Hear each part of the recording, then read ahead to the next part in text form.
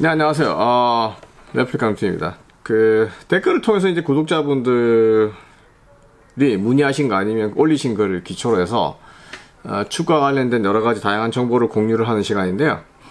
어, 먼저 이제 그, 오늘자에 그 영국의 그 Soccer Bible인가요? Soccer Bible인가? 뭐 그 Pro Direct에서 아마 운영하는 곳인 것 같은데. 거기서 내년에 나올 Predator 모델에 대한 아, 그 테스트 모델 이제에 대한 그 spy shot이라고 그러나요? 그래서 이제 아스날 선수들이 주로 촬영하고 있는 사진들을 올리고 어, 디테일들을 올리면서 어, 그 모델이 이 Lethal 모델과 비슷한 거 아니냐 하는 식의 이제 비교 그게 올라왔어요.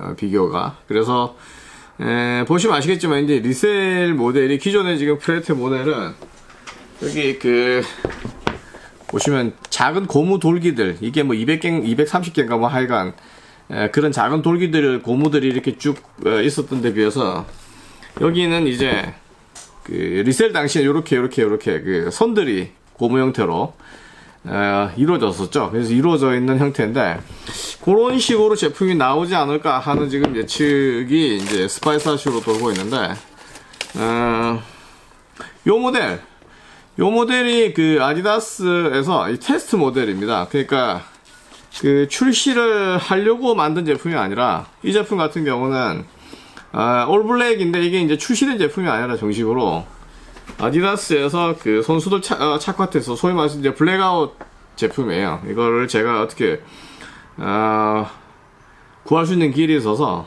이거를 하나 구했던 건데 테스트 모델을 음, 요 모델도 보면 이제 여러 가지 형태의 이렇게 그 돌기가 이렇게 플랫하게 이제 손, 손으로 다 바뀌고 어, 되어 있는데 고 그 저 댓글에 제가 어떻게 달았냐면 어, 프레트에 이렇게 된 고무 돌기들 여기 리셀에서 나온 것처럼. 이 리셀 에이지는 제가 굉장히 잘 신었던 제품이고 어, 지금 신어도 되게 편하고 좋아요 이 제품은 요 고무 돌기처럼 되어 있는 것들이 결과적으로 보면 기능적 차원보다는 그 디자인 요소에 불과하다 이제는.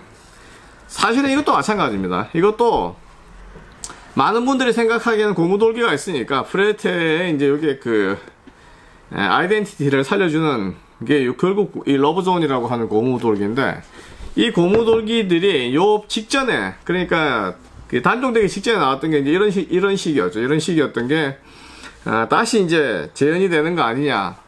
하는데 물론 이제 약간의 개선은 있을 수 있겠죠. 약간의 개선이 있는데.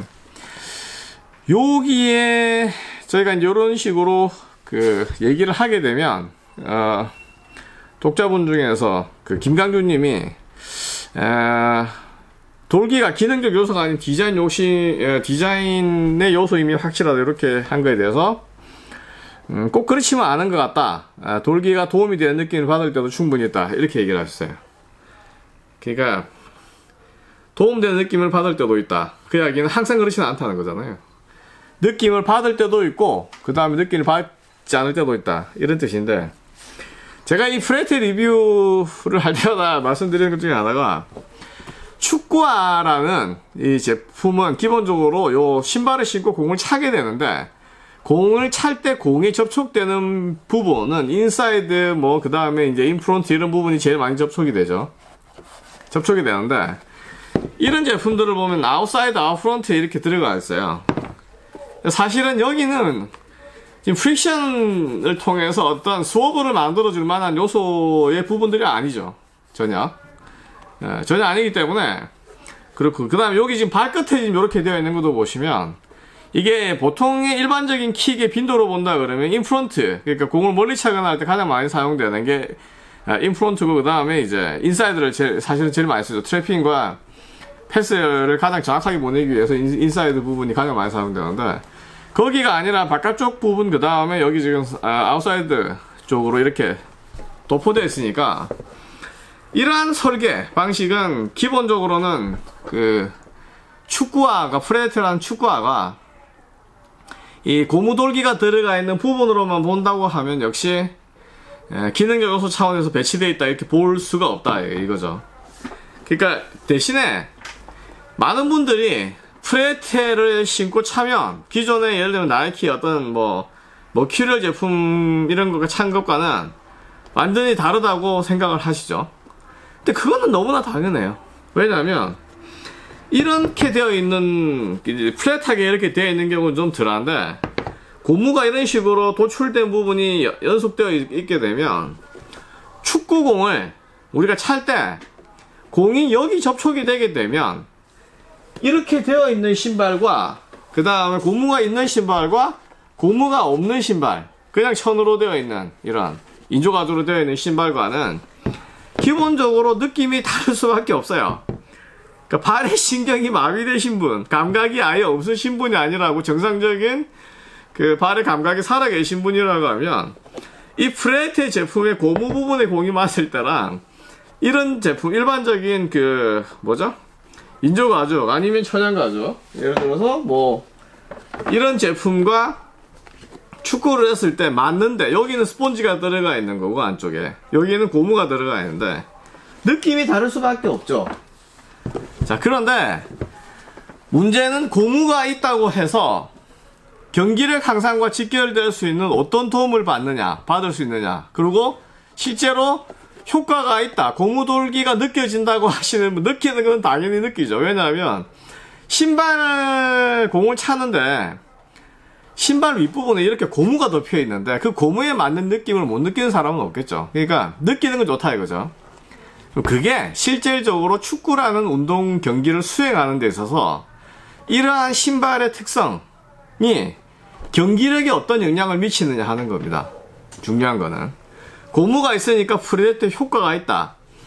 프레데테 효과가 있다고 그러면 프레데테의 효과 아디다스가 20년 뮤테이터나 그 다음에 21년 프리익에서 어떤 효과를 정의를 했고 그 효과가 어떻게 달성이 되느냐 이 신발을 신었을 때 그게 핵심 요소예요. 궁극적으로는. 그러면 고무돌기가 있는 경우와 일반 스폰지가 들어가 있는 얇은 쪽에서 느낌은 다른데 경기력 차이는 어떻게 만들어주느냐 하는 거예요. 저희가 이 프레티 모델이라든지 이런 모델들에서 던지는 의무는 바로 이 점입니다. 뭐냐? 돌기가 있기 때문에 그 돌기가 발에 전달되는 감각이 다른 축구와는 다를 수밖에 없어요. 다만 축구화에 이런 작은 돌기들이 있다고 해서 이게 경기력 차원에서 슈팅의 속도를 엄청나게 빨리게 해준다든지 아니면 프리킥 찬스에서 엄청난 swerve를 만들었는데 심지어는 지금 프리킥에서 가장 그 hot issue는 무회전 킥이잖아요. 그러니까 무회전 킥에 유명한 거는 무회전 킥으로 했을 경우에 골 확률, 득점 확률이 높다고 보기 때문에 많은 젊은 친구들이 무회전 킥을 연습을 하고 하는데 사실은 이런 제품을 사용하게 되면 결정적으로 무회전 킥을 할 수가 없죠. 왜냐면 이게 게임 요소라고 생각하고 이게 효과를 발휘한다고 하니까. 근데 실제로 이 축구화를 신고도 무회전 킥이 가능하죠. 그 이야기는 축구화랑 이 고무돌기의 경기력상의 상관성을 따진다고 하면 아무런 이 고무돌기가 경기력 향상 차원에서는 도움되는 부분이 없다. 뭐 드리블이든 리프팅이든 어떤 부분이든지. 그럼 왜 아디다스가 이렇게 만드냐?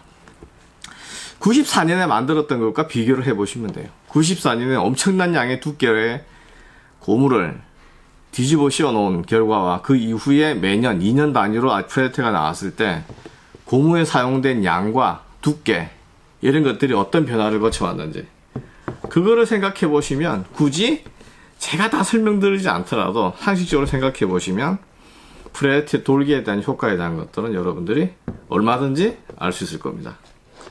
네, 지금까지 시청해주셔서 감사합니다.